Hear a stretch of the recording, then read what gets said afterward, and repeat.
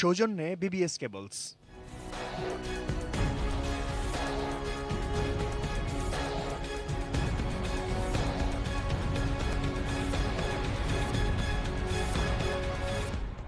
সকল রাজনৈতিক দলকে নির্বাচনমুখী করানোর প্রতিশ্রুতি দিয়ে দায়িত্ব শুরু করল কাজী হাবিবুল আওয়াল নেতৃত্বাধীন নতুন নির্বাচন কমিশন।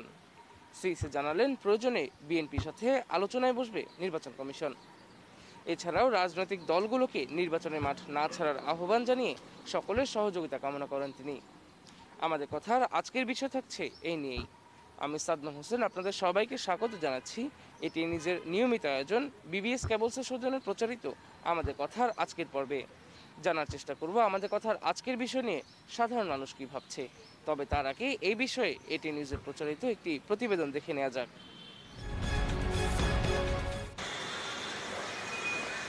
নতুন নির্বাচন কমিশন প্রথম কর্মদিবস। সকাল দশটা নাগাদ আগারগাঁওয়ের নির্বাচন ভবনে নিজেদের দপ্তরে উপস্থিত হন প্রধান নির্বাচন কমিশনার সহ অন্য কমিশনাররা। তাদের ফুল দিয়ে শুভেচ্ছা জানান ইসির কর্মকর্তারা। এরপর কমিশন সচিবালয়ের কর্মকর্তাদের সাথে পরিচিতি পর্ব ও মতবিনিময়ে অংশ নেন তারা। প্রায় দু ঘণ্টা চলে আলোচনা। দুপুরে গণমাধ্যমের মুখোমুখি নতুন ইসি প্রধান নির্বাচন কমিশনার শুরুতেই জানান, অর্পিত দায়িত্ব সততার সাথে পালনে তারা ঐক্যবদ্ধ। আমাদের যে সামর্থ্য এবং দক্ষতা এবং শক্তি কতটুকু, সেইটুকু, যতটুকু আছে অতটুকু দিয়ে আমরা আমাদের কনস্টিটিউশনাল যে ফ্রেমওয়ার্ক আছে লিগেল যে ফ্রেমওয়ার্ক আছে, সেখানে যে ম্যান্ডেটটুকু আমাদের দেওয়া হয়েছে, ওর মধ্যে থেকে আমরা সর্বোচ্চ প্রয়াসের সাথে, চেষ্টার সাথে আমরা আমাদের উপর আরোপিত দায়িত্ব পালন করার চেষ্টা করব। আগামী জাতীয় নির্বাচনে বিএনপির অংশগ্রহণ নিশ্চিতে প্রয়োজনে আলোচনায় বসতে চায় কমিশন। একই সাথে সব দলকে নির্বাচনে অংশ নেওয়ারও আহ্বান সিএসির মাঠ ছেড়ে চলে আসলে হবে না। মাঠে থাকবেন কষ্ট হবে। নির্বাচন কেন্দ্রগুলোতে যে দায়িত্ব পালন যে আইন শৃঙ্খলা রক্ষা করার যে দায়িত্ব সেগুলো আমাদের দেখতে হবে। তবে নির্বাচন কমিশন অসীম শক্তির অধিকারী নয় জানিয়ে রাজনৈতিক দলসহ সব পক্ষের সহযোগিতার আহ্বান জানান তিনি। আলোচনার মাধ্যমে দূরত্ব কমে আসে। আমরা যদি মুখ ফিরিয়ে থাকি তাহলে কিন্তু দূরত্ব বাড়তে থাকবে। রাজনৈতিক দলগুলোকেও কাউকে না কাউকে অহংকার পরিত্যাগ করে আপনার মিলেমিশে আলোচনা করতে হবে। যে নির্বাচন করতে গেলে আমাদের ভূমিকা কী হবে আমরা কতটা সংযত থাকব আমরা পারস্পরিক কতটা সহযোগীমূলক আর আচরণ করব।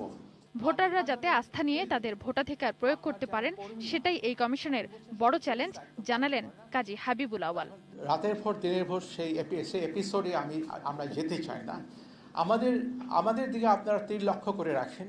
যদি দেখেন আমরা সেটা করি আমাদেরকে তীরবিদ্ধ করেন। Sadia Afroz ATN news. Dhaka দেখছিলেন প্রতিবেদনটি। এবারে দেখে নেওয়া যাক এই বিষয়ে সাধারণ মানুষ কি ভাবছে। নতুন নির্বাচন কমিশনার নিয়োগ পেল। মানে আমরা যারা সাধারণ মানুষ, আমাদের হচ্ছে আশা থাকবে যে সব দল যাতে সুস্থভাবে অংশগ্রহণ করতে পারে এবং হচ্ছে আগে যেমন আমরা দেখেছি যে মানে বিভিন্ন রাজনৈতিক দলের মধ্যে মনক্ষুণ্ণতা ছিল বা কাদা ছোড়াছুড়ি ছিল, এইগুলা বন্ধ করে সব সব মানে জাতীয় নির্বাচন একটা দেশের জন্য হচ্ছে মানে আমরা প্রতিবারই দেখি যে একটা উৎসব মুখর পরিবেশের মাধ্যমে হচ্ছে জাতীয় নির্বাচন আমরা অংশগ্রহণ করি। এবং এরই ধারাবাহিকতা যাতে বজায় থাকে সামনে নির্বাচনেও আমরা নতুন নির্বাচন কমিশনারের কমিশনারদের কাছ থেকে এইটাই আশা করি। প্রধান যে নির্বাচন কমিশনার, তিনি যেহেতু বলছেন যে আমরা প্রতিজ্ঞাবদ্ধ, আমরা একটা স্বচ্ছ বা সুষ্ঠু নির্বাচন আমরা দিব। তো এই ক্ষেত্রে প্রধান যে রাজনৈতিক দলগুলো, তাদের সহযোগিতা ছাড়া একটা স্বচ্ছ বা সুষ্ঠু নির্বাচন সম্ভব না।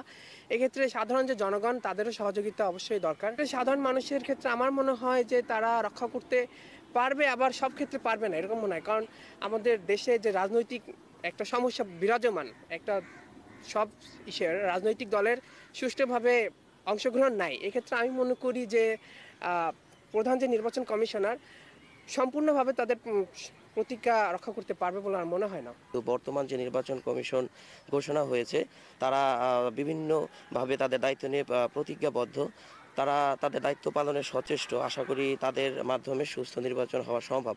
এক্ষেত্রে আমরা যারা নাগরিক আছে, আমাদের উচিত হবে আমাদের ভোটাধিকার যে বল আছে সেটা প্রয়োগ করা এবং রাজনৈতিক যে বড় বড় দলগুলো আছে তারা যেন রাজনীতিতে অংশগ্রহণ করে, নির্বাচনে অংশগ্রহণ করে এবং সব মিলিয়ে সুস্থ একটা নির্বাচন হয় এবং নির্বাচন কমিশন যেন স্বচ্ছ থাকে এবং বাংলাদেশের নির্বাচন ব্যবস্থাটা যেন বিশ্বের দরবারে আমরা স্বচ্ছ রাজনীতি যে হয় বাংলাদেশে সেটা তুলে ধরতে পারি।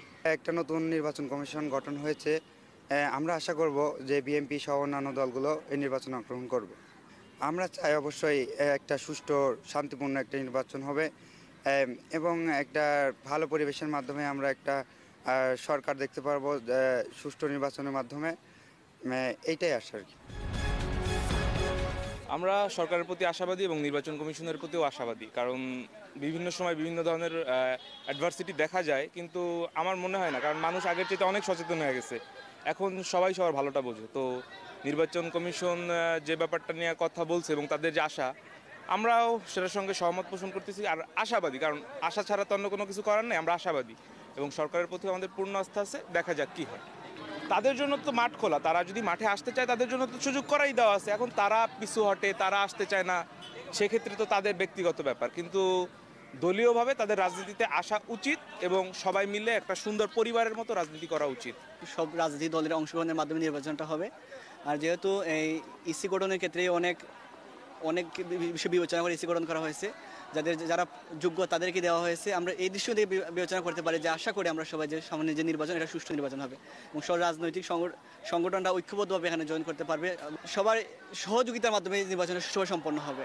বিগত নির্বাচনে আমরা দেখছি যে মানে সব দলের সব দলগুলো অংশগ্রহণ করে না এটি বাংলাদেশের নির্বাচনের ক্ষেত্রে আসলে মোটেও সুবিধাজনক না বা আমরা সাধারণ জনগণ হিসেবে এটা আশাবাদী না। আমরা চাই সকল দলের সকল রাজনৈতিক দলের মানে অংশগ্রহণের মাধ্যমে একটা সুষ্ঠু ও সুন্দরভাবে নির্বাচন হোক এবং দেশে গণতন্ত্র প্রতিষ্ঠিত হোক এবং সাধারণ নাগরিক তাদের ভোটাধিকার ও তাদের সকল সুযোগ সুবিধা মানে ফিরে পাক। আচ্ছা, নির্বাচন কমিশন এবার গঠিত খুব সুষ্ঠুভাবে।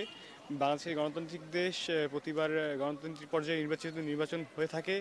সবাই সুষ্ঠুভাবে ভোট দিয়েই তাদের মনমতো প্রার্থী এবং দল নির্বাচন করে থাকে।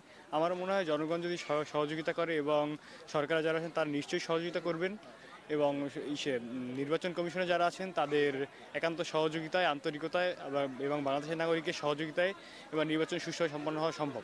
নির্বাচন কমিশন হচ্ছে নিরপেক্ষ। এখানে দুইটা পক্ষ দুইটা পক্ষ যখন অংশগ্রহণ করে বা অন্য এক, একাধিক পক্ষ অংশগ্রহণ করে, তখন নির্বাচন কমিশন কাজ করে কি? দেশের শান্তি বজায় রাখার জন্য সুষ্ঠু নির্বাচনটা পরিচালনা করে। এখানে সাধারণ জনগণের অংশগ্রহণ অবশ্যই অত্যাবশ্যক, যেখানে, এখানে মানুষ সাধারণ, সাধারণভাবে ভোট দিতে যায় এবং দেশের নিরাপত্তা বিধান করার জন্য যেই দলগুলো অংশগ্রহণ করে, নির্বাচন কমিশন তাদের সুষ্ঠু প্রক্রিয়ার মাধ্যমে নির্বাচনটা সম্পন্ন করে। নতুন যে সিইসি গঠন করা হয়েছে, এর মাধ্যমে যে আমরা সার্বজনীন ভোটাধিকার, সেটা যেন আবার মানুষ ফিরে পায় এবং স্বতঃস্ফূর্তভাবে যেন যে একটা আমেজ ছিল ভোটের, সেই আমেজটা যেন থাকে ভোট, প্রত্যেক ভোট কেন্দ্রে এবং সুষ্ঠুভাবে যেন তাদের ভোটাধিকার নিশ্চিত করে নতুন সরকার বা যেই দলই আসুক, যেন সুষ্ঠুভাবে তাদের নির্বাচন কাজ শেষ করতে পারে। এটাই আমাদের নতুন নির্বাচন, সিইসির কাছে আশাবাদী আমরা দেখছিলেন আমাদের কথার আজকের বিষয় নিয়ে সাধারণ মানুষের মতামত। আমাদের কথার আগামী পর্ব দেখার আমন্ত্রণ জানিয়ে আজকের মতো বিদায় নিচ্ছি আমি সাদমান হোসেন। আবার দেখা হবে অন্য কোনো দিন। অন্য কোনো বিষয় নিয়ে শুনব সাধারণ মানুষের ভাবনা। সেই পর্যন্ত ভালো থাকুন, সুস্থ থাকুন, সঙ্গে থাকুন এটিএন নিউজের